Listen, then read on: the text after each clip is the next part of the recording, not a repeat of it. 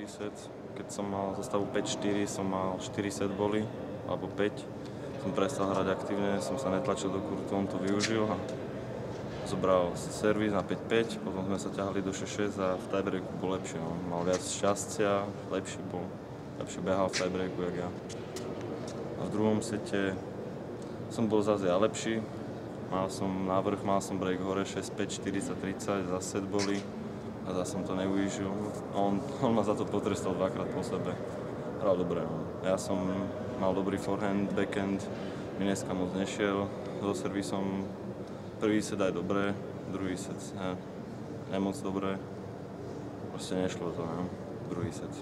Mhm. Aký si mal pocit z toho finále, čo sa týka úrovňou juniorského tenisu?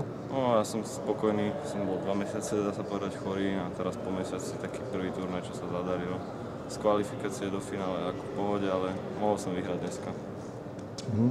Aké sú tvoje ďalšie turnajové plány? Mal by som ísť do Chorvátska, jeden slovenský turnaj a potom sa ešte uvidí už 15 tisícky by som chcel začať chodiť. Uh-huh. Ešte prezrať, kto ťa trénuje, lebo z hľadiska som počul aj angličtinu. Áno, tak to je tréner, dá sa povedať, Dominika Hrbatého. On trénuje z ním v Turecku, Davis Cupu reprezentáciu. Uh-huh. A ako vznikla tá spolupráca s tebou?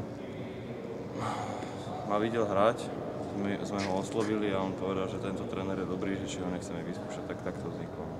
Uh-huh. Zohral v tom rolu aj nejakú Dominik Rbaty? Áno, no, trénoval som s ním dva mesiace a to bola taká skúšobná doba, že či pôjdem s ním trénovať, alebo si mám nájsť iného trénera.